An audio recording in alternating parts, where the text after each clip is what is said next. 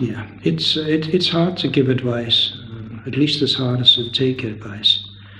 Don't over specialize.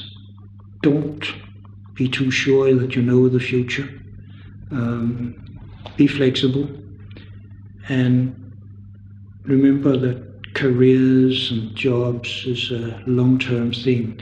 There's too many young people think they can optimize for something, and it, then they find they've, they've spent a couple of years or more specializing in something that may not have been the right thing. In the process, they burn out because they haven't spent enough time building up friendships and having a life outside computing.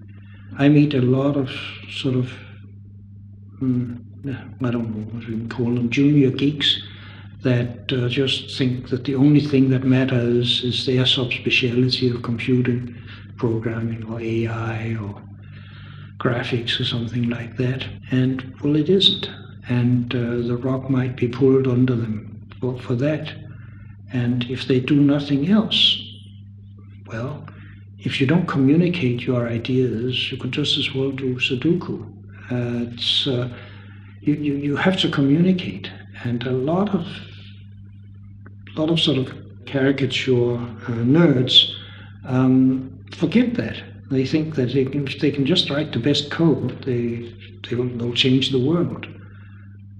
But you have to be able to listen, you have to be able to communicate with your would be users and learn from them, and you have to be able to communicate your ideas to them. So you can't just do code, you have to do something about culture and how to express ideas. And I mean, I, I never regretted the time I spent on, on history and on math. Um, math sharpens your mind, history gives you some idea of your limitations and what's going on in the world. And so don't be too sure.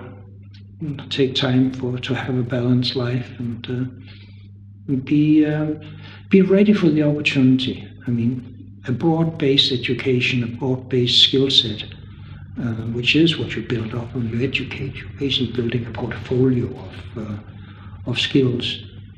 Means that you can take take advantage of an opportunity uh, when it comes along. You can recognize it sometimes.